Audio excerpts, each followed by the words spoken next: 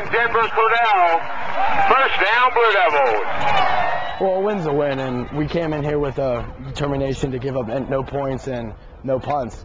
Well, I mean, we we came out fired up. We had a pretty good first half. We came out second half, started hitting people.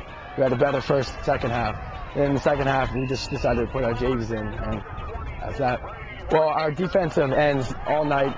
We we beat it in their mind all night, all week. Contain. We we watched film on him. We saw that he's going to roll out a lot. We saw that we need to have contain. We knew they ran trickery plays. So all we just beat into our defensive line's head, contain, and they did a great job that. We saw some young guys playing. And they played their hearts out, and they did a good job. Um, we we need to get bigger and stronger. I mean, that's all it is. I mean, they they they outsized us. They out they out hit us. They did they didn't have to do anything. All they had to do is run the ball down the field. All right, we turned the ball over a couple times again, but you know nobody quit. We played hard the whole game. Young guys showed me what they got. So I think you know I'll always like to have a positive view of it. I think that you know the future looks bright. I think we got some good players.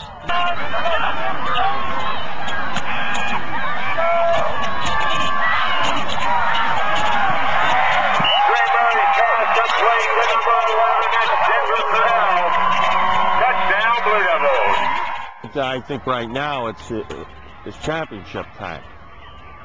You know, Northern's right in the hunt.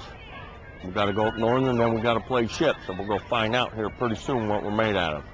I, I just thought that the offensive line did a nice job. I thought both backs played well. I mean, really, we played well. Uh, I didn't think we executed very well. I didn't think an effort was there, and enthusiasm was there that I like to see. But, um, you know, they're two good backs. They're, Nothing. Uh, I've already said all that.